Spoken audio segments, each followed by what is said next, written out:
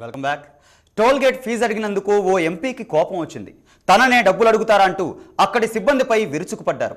అయినా వాళ్ళు లెక్క చేయకపోయేసరికి ఎంపీ గారి కోపం కట్టలు తెంచుకుంది. కారులో ఉన్న గన్ చూపించి కాల్ చేస్తానంటూ చిందులు తొక్కారు. దీంతో టోల్ గేట్ సిబ్బంది పలాయనం చిత్తగించారు. గుజరాత్లో హల్చల్ చేసిన ఎంపీని మీరే చూడండి. కాంగ్రెస్ ఎంపీ విఠల్ రాధాదియాకి కోపం వచ్చింది. పోర్బందర్కు చెందిన ఈ ఎంపీ వడోదరాలోని కర్జన్ తాలూకాలో ఉన్న టోల్ గేట్ నుంచి వెళుతున్నారు. టోల్గేట్ సిబ్బంది ఫీజు వసూలు చేయడం కోసం డబ్బులు అడిగారు. దీంతో ఎంపీబీఏ కారులో ఎంపీ గారు ఉన్నారని చెప్పడంతో సిబ్బంది ఐడెంటిటీ కార్డు అడిగారు. అప్పటికే ఎంపీ గారు కోపంతో ఊగిపోతున్నారు.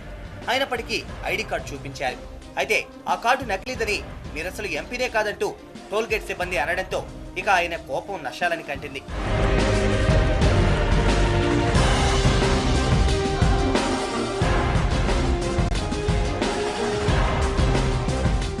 తనని డబ్బులు అడిగింది కాక ఐడి కార్డ్ ఫేక్ అంటారా అంటూ కారులో ఉన్న గన్ బయటకు తీశారు ఎంపీ. తనను కార్డు అడిగిన సిబ్బంది వైపు గన్ గురిపెట్టి కాల్ చేస్తానంటూ బెదిరించారు. దీంతో అక్కడి సిబ్బంది ఎక్కడి వాళ్ళు అక్కడ పరారయ్యారు. అయినప్పటికీ వదలకుండా ఎంపీ విఠల్ గన్ తీసుకుని అక్కడే తిరుగుతూ టోల్గేట్ సిబ్బందిని బండబూతులు లంకించుకున్నారు.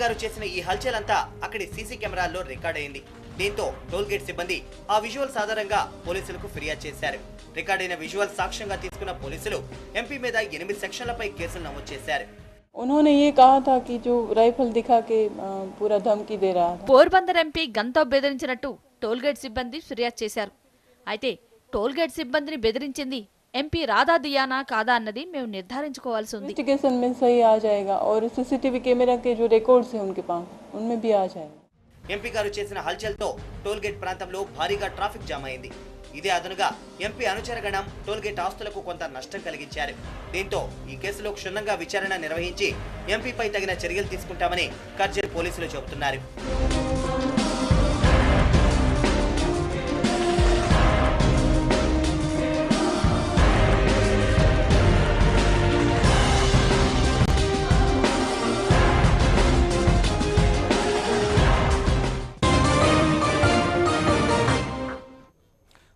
భారతీయ జనతా పార్టీ ఎన్నికల సైరన్ మోగించింది.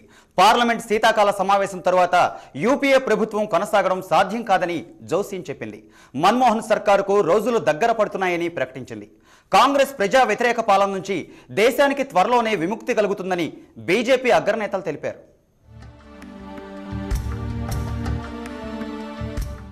యూపీఏ మిత్రపక్షాలు తృణమూల్ బీఎస్పీల తర్వాత ప్రధాన ప్రతిపక్షం బీజేపీ కూడా ఎన్నికల శంఖారావం పూరించింది. మన్మోహన్ సర్కార్ ప్రజా వ్యతిరేక విధానాలపై దేశ రాజధానిలోని జంతర్ మంతర్ వద్ద బీజేపీ మహిళా మోర్చా భారీ ఎత్తున ధర్నా నిర్వహించింది. గ్యాస్ సబ్సిడీపై కోతను నిరసిస్తూ ఎఫ్డీఐలను వ్యతిరేకిస్తూ ఈ ధర్నా ఏర్పాటు చేశారు. ధర్నాలో బీజేపీ అగ్రనేతలు సుష్మా స్వరాజ్ అరుణ్ జైట్లీ తదితరులు యూపీఏ ప్రభుత్వంపై నిప్పులు చెరిగారు. పేదల పార్టీగా చెప్పుకునే కాంగ్రెస్ అధినేత సోనియా గాంధీకి పేదల కష్టాలు పట్టడం లేదని సుష్మా స్వరాజ్ మండిపడ్డారు. గ్యాస్ సబ్సిడీపై కోత విధించడం దారుణమని విమర్శించారు. యూపీఏ ప్రభుత్వ హయాంలో నాలుగున్నర లక్షల కోట్ల రూపాయల అవినీతి జరిగిందని ఆమె ఆరోపించారు. మరోవైపు ఎన్నికలు ఎంతో దూరంలో లేవని అరుణ్ జైట్లీ అన్నారు. ఈ ప్రభుత్వం ఎప్పుడెప్పుడు పోతుందా అని ప్రజలు ఎదురు చూస్తున్నారని సుష్మా స్వరాజ్ అన్నారు.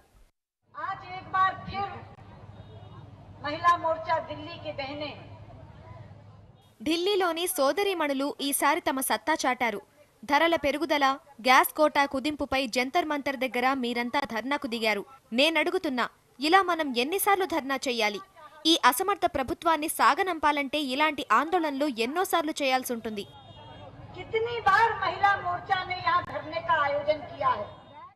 కమలనాథుల దూకుడు చూసిన కామ్రేడ్లు కూడా యూపీఏ సర్కార్ను సంక్షోభంలోకి నెట్టేందుకు రెడీ అవుతున్నారు. ఢిల్లీలో సమావేశమైన సిపిఎం పొలిట్ బ్యూరో సమావేశం వర్తమాన రాజకీయ పరిస్థితిని సమీక్షించింది. అనేక కుంభకోణాలు బయటపడుతూ ఉండడమే కాకుండా సోనియా అల్లుడు రాబర్ట్ వాద్రా డిఎల్ఎఫ్ బండారం బయటపడిన తరుణంలో కాంగ్రెస్ ప్రతికూల పరిస్థితులు ఎదుర్కొంటోందని సిపిఎం అభిప్రాయపడింది. ఇటీవలి ప్రభుత్వ నిర్ణయాల ఉపసంహరణకు ఇతర ప్రతిపక్షాలను కూడా కలుపుకొని పార్లమెంట్లో ఒత్తిడి తేవాలని సిపిఎం నిర్ణయించుకుంది.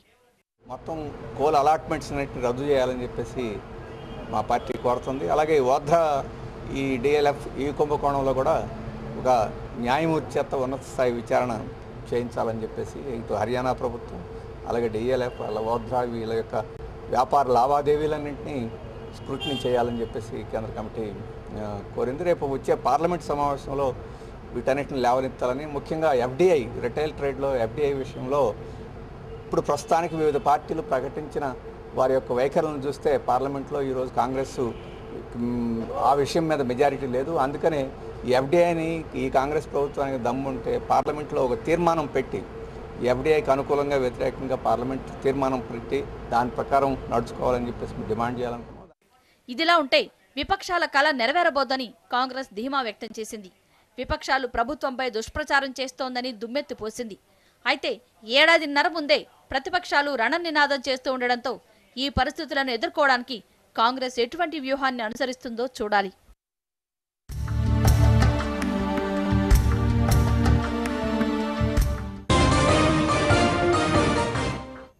ఛాంపియన్ లీగ్ టీ ట్వంటీ సమరానికి సఫారీ ల్యాండ్ సౌత్ ఆఫ్రికా ముస్తాబైంది. ఐదు దేశాలకు చెందిన పది జట్ల ఈ సమరానికి నేడు తెరలేవనుంది. హర్భజన్ సింగ్ నాయకత్వంలోని ముంబై ఇండియన్స్ డిపెండింగ్ ఛాంపియన్ హోదాలో పోటీకి దిగుతుంది. టీ ట్వంటీ తుఫాన్ భారత ఉపఖండంలోని శ్రీలంక నుంచి సౌత్ ఆఫ్రికా తీరాన్ని తాకింది. అక్టోబర్ పదమూడు నుంచి ఇరవై ఎనిమిది వరకు జరిగే ఐదు దేశాలు పది జట్ల ఈ సమరంలో ఇరవై కోట్ల రూపాయల భారీ ప్రైజ్ మనీ ఇవ్వనున్నారు. గ్రూప్ లీగ్ కమ్ నాకౌట్గా జరిగే ఈ టోర్నీకి డర్బన్ కేప్ టౌన్ జోహెన్స్బర్గ్ స్టేడియాలు వేదికలు కానున్నాయి. వివిధ దేశాల దేశవాళీ టీ ట్వంటీ ఛాంపియన్ జట్ల మధ్య జరిగే ఛాంపియన్స్ లీగ్ను ఎప్పటిలాగే రెండు దశలుగా నిర్వహిస్తున్నారు. ఐపీఎల్ లీగ్లో మొదటి నాలుగు స్థానాల్లో నిలిచిన జట్లతో పాటు South Africa Australia winner runner up జట్లు నేరుగా మెయిన్ రౌండ్లో పోటీకి దిగుతున్నాయి. మిగిలిన రెండు స్థానాల కోసం జరిగిన క్వాలిఫైయింగ్ రౌండ్ పోటీల ద్వారా న్యూజిలాండ్కు చెందిన ఆక్లాండ్ ఎసెన్ యార్క్షైర్ జట్లు మెయిన్ రౌండ్కు అర్హత సాధించడంతో మొత్తం పది జట్ల లైనప్ పూర్తయింది. టెస్టు హోదా పొందిన వివిధ దేశాల దేశవాళీ టీ ట్వంటీ ఛాంపియన్ రన్నరప్ ఇతర అగ్రశ్రేణి జట్ల మధ్య ఈ టోర్నీని Bharat South Africa Australia cricket బోర్డులు సంయుక్తంగా నిర్వహిస్తూ వస్తున్నాయి. భారత్ వేదికగా రెండు వేల తొమ్మిది సీజన్లో తొలిసారిగా నిర్వహించిన ప్రారంభ ఛాంపియన్ లీగ్ టైటిల్ను ఆస్ట్రేలియాకు చెందిన న్యూ సౌత్ వేల్స్ జట్టు గెలుచుకుంది.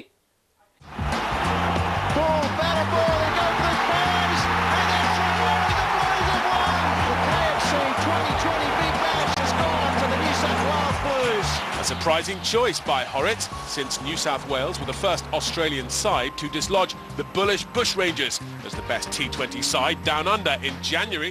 ఇక రెండో ఛాంపియన్స్ లీగ్ టోర్నీకి సౌత్ ఆఫ్రికా క్రికెట్ బోర్డు ఆతిథ్యమిచ్చింది ఈ టోర్నీలో మొత్తం పది జట్లు రెండు గ్రూపులుగా ఢీకొన్నాయి సౌత్ ఆఫ్రికాలోని నాలుగు వేదికల్లో ఇరవై మూడు మ్యాచ్ల సమరంగా రెండో ఛాంపియన్స్ లీగ్ పోటీలు ముగిశాయి ఆ టోర్నీలో గ్రూప్ ఏ లీగ్లో Chennai Super Kings Warriors Victorian Bush Rangers Wayamba Elevens Central Stags ఢీకొన్నాయి.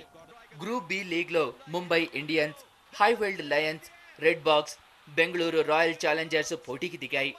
సెమీఫైనల్స్ను Durban Centurion వేదికలుగాను ఫైనల్ను Johannesburg వేదికగాను నిర్వహించారు. Chennai Super Kings Champions League టైటిల్ను గెలుచుకుంది.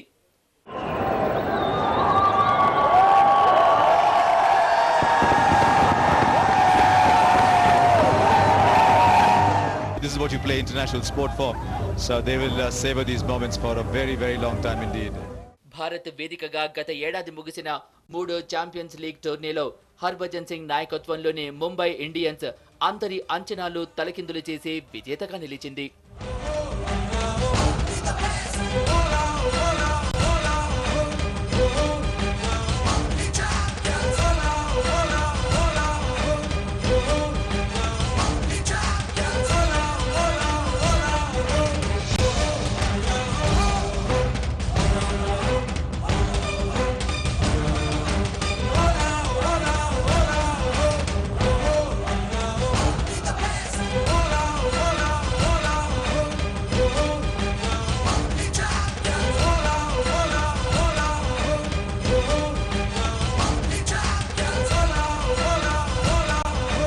Harbhajan Singh, captain of the Mumbai Indians. Here you go, the Mumbai Indians celebrating. ఇక South Africa వేదికగా రెండోసారి జరుగుతున్న champions league నాలుగో season పోటీల్లో భారత్కు చెందిన నాలుగు ఆస్ట్రేలియా సౌత్ ఆఫ్రికా దేశాలకు చెందిన రెండేసి జట్లు న్యూజిలాండ్ ఇంగ్లాండ్కు చెందిన ఒక్కో జట్టు పోటీకి దిగుతున్నాయి ఐపీఎల్ లీగ్ ఐదో సీజన్ మొదటి నాలుగు స్థానాల్లో నిలిచిన Kolkata Knight Riders Chennai Super Kings Delhi Daredevils Mumbai Indians తమ అదృష్టం పరీక్షించుకోనున్నాయి. Australia Big Bash League champion Sydney Sixers runner up Perth Scorchers South ఆఫ్రికాకు చెందిన టైటాన్స్ హైవెల్డ్ లయన్స్ జట్లు సైతం బరిలోకి దిగుతున్నాయి. ఆరు జట్ల క్వాలిఫైయింగ్ టోర్నీ నుంచి ఫైనల్ రౌండ్కు అర్హత సాధించిన అక్లాండ్ ఏసెస్ యార్క్షైర్ కౌంటీ జట్లు సైతం టైటిల్ వేటకు దిగుతున్నాయి. రెండు వారాల పాటు సాగే ఈ టోర్నీలో గ్రూప్ లీగ్ పోటీలు అక్టోబర్ ఇరవై నాలుగు వరకు జరుగుతాయి. ఇరవై ఐదు ఇరవై ఆరు తేదీల్లో సెమీఫైనల్స్ ఇరవై ఎనిమిదిన ఫైనల్స్ నిర్వహిస్తారు. Mumbai Indian star player master Sachin Tendulkar Sydney Sixers super all rounder Shane Watson ఈ టోర్నీకే ప్రధాన ఆకర్షణ కానున్నారు. రెండు వారాల పాటు సాగే ఈ పోటీలు అభిమానులను ఏ స్థాయిలో ఆకట్టుకుంటాయన్నదే ఇప్పుడు నిర్వాహక సంఘాన్ని ఉక్కిరి బిక్కిరి చేస్తోంది.